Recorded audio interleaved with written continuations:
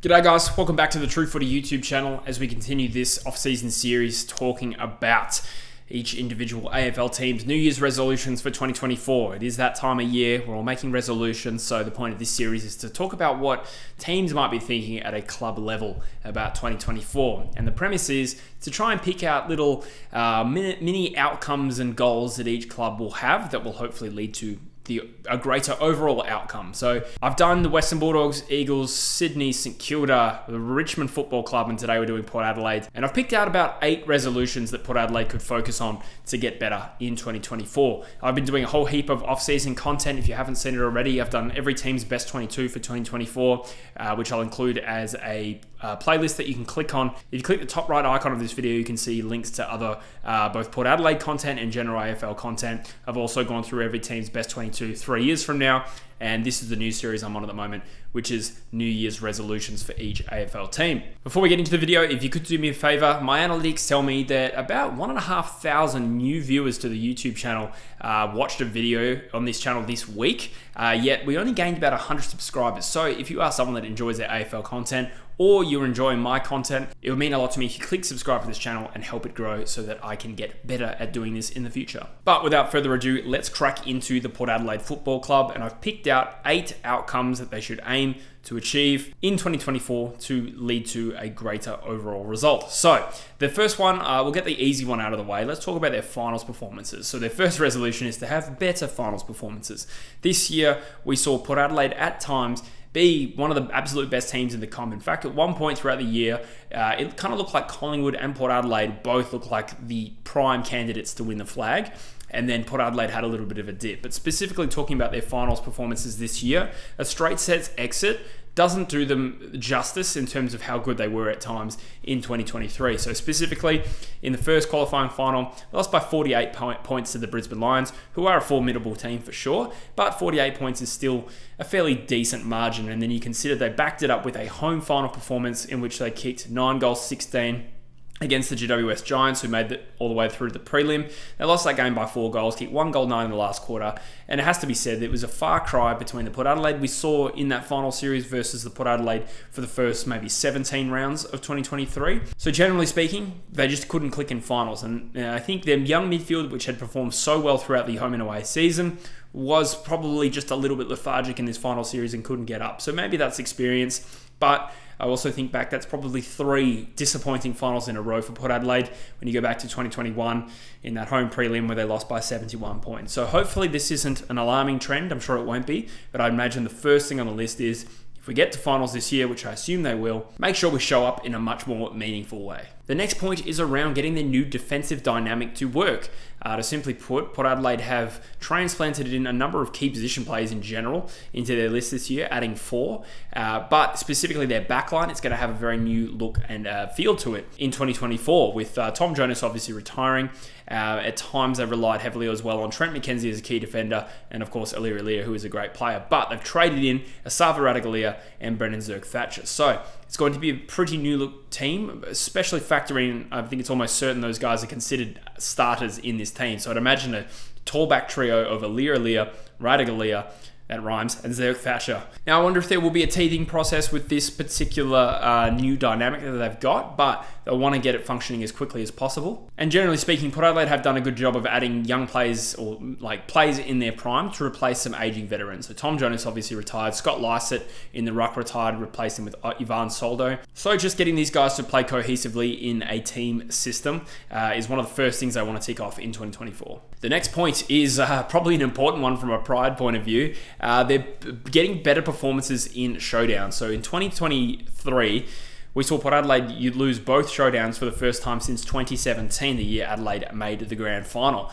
Uh, the first one was in particular quite disappointing. They lost in the last quarter, where Adelaide kicked five goals across 14 minutes, and they had a four-point lead, and Port Adelaide ended up going down by, well, I think five goals in the end. The second one was even worse. They lost it by about 48 points. And, you know, I think Adelaide are a fiery good side. I know that's probably an inflammatory thing to say in a Port Adelaide video with Port Adelaide fans watching. But, you know, uh, being fair, Adelaide do have the scoring power to put teams to the sword as they did you know, throughout 2023 at times anyway. But considering how good Port Adelaide were to, to go through this year and lose both showdowns to a, a rival team that didn't make the finals. I know they probably should have, but even still, Port Adelaide was the higher ranked team. From a pride point of view, and also just general accumulating home and away wins and losses, that could have been the difference between them getting a home final in week one. The next point is uh, probably from a more technical point of view, and that is to improve on their contested stats, generally speaking. So, some interesting stats I got out of this year for Port Adelaide was that they were 11th in the league for contested possessions, they were 11th for tackles, and they were also number one in the league for giving away free kicks this year, which suggests their contested game, I mean, the free kick stat in itself is probably, I mean, that, that could include a variety of things, but in the contest is often where free kicks are won and lost. So, Port Adelaide, for a such a strong team, to be 11th ranked in contested possessions and tackles, does kind of suggest that that's one part of their game that they could tidy up to really become a genuine contender in 2024. The next resolution is around the continued development of Jason Horne Francis. And I know probably shouldn't focus in on one single player when coming up with goals for 2024. However, I think it's fair to suggest Jason Horne Francis, amongst others, obviously with Zak Butters and Connor Rozee, I think they they certainly do make up a really important and powerful and high potential nucleus here at Port Adelaide. And considering what they gave up to get Jason Horne Francis, naturally his development is important. But the development specifically this year that can be achieved is he's played 41 games now, and we've seen him in sort of a hybrid forward midfielder role.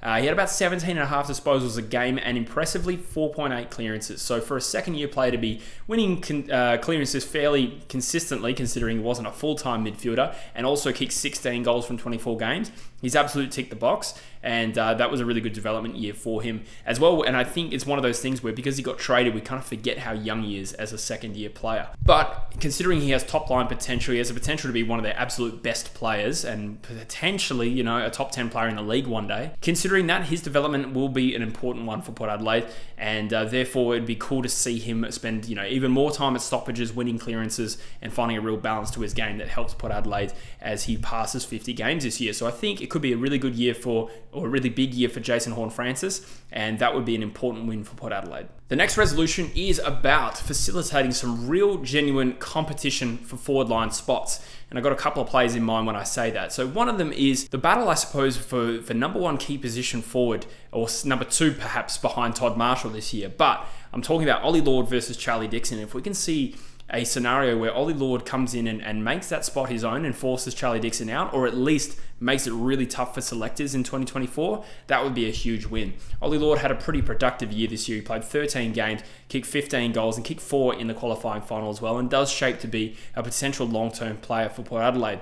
He's 22 years old, 197 centimeters, great profile. By contrast, Charlie Dixon is 33, and you know I know that he battled injury and stuff like that, but probably we didn't see him at his best this year.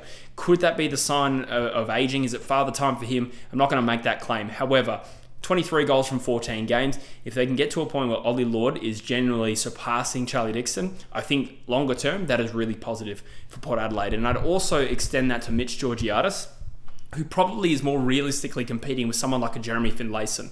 Jeremy Finlayson is only 27. He turns 28 before the season starts, and he kicked 38 goals from 22 games. So, you know, that was a pretty good year for him. But Georgiadis, I think, uh, maybe this is just my uh, opinion, but 65 goals from his first 49 games is a sort of undersized key forward. Probably plays more like a third tall at AFL level at just 192 centimetres, but I think he does have the potential to be a really dynamic and dangerous player. And he's coming off that ACL. But if we can see Georgiadis come back and earn that spot ahead of Jeremy Finlayson, again, I think that's really healthy competition and will probably be a symptom of a really strong Port Adelaide team. And the final point that I will uh, sort of rehash again, it's kind of connected to the finals performances, but generally speaking, tidying up the form slumps, and in particular, their form after round 17, we did see a different Port Adelaide after that to the one that we saw in the first 17 rounds. So specifically, uh, after I think it was like a 13 game winning streak, I didn't actually write that down, but they lost by 50 points to Carlton, who admittedly sort of went on a tear after that. They lost at home to the Pies. They lost by 47 points to the Crows. That's probably the one that sticks out. And then they lost by 12 points to uh, the Cats at GMHBA. Now, to be honest, that is actually a pretty fairly good run of opponents. Like Adelaide is the weakest one, and they are still very, very capable on their day. With that being said, Port Adelaide still showed up and just slightly failed the test four times in a row. They then finished the home and away season fairly well. You know, there was a big win over the Giants, and then Fremantle they beat in Perth. Then they beat Richmond in the final round by five goals. But either way, generally speaking, the team that came out after round 17 wasn't quite the almost premiership standard Port Adelaide we saw in the first 16 or 17 rounds of this season. So it's just about accepting the fact that there are form slumps, but you obviously want that form slump to not uh, affect you in finals. So I suppose what I'm saying is be more consistent, play that higher standard for longer, and then naturally that's going to be a key resolution for them in 2024. So that is my take on the Port Adelaide Football Club and their goals and outcomes for 2024. Let me know, Port fans in particular, where I went wrong, what you agree with or disagree with, or please add some more resolutions yourself that I may have missed as an outsider looking in. As always, I do appreciate you guys watching and supporting the channel. It does not go unnoticed. I look forward to hearing from you in the comments. Subscribe to the channel if you haven't already, and I'll see you in the next one. Cheers.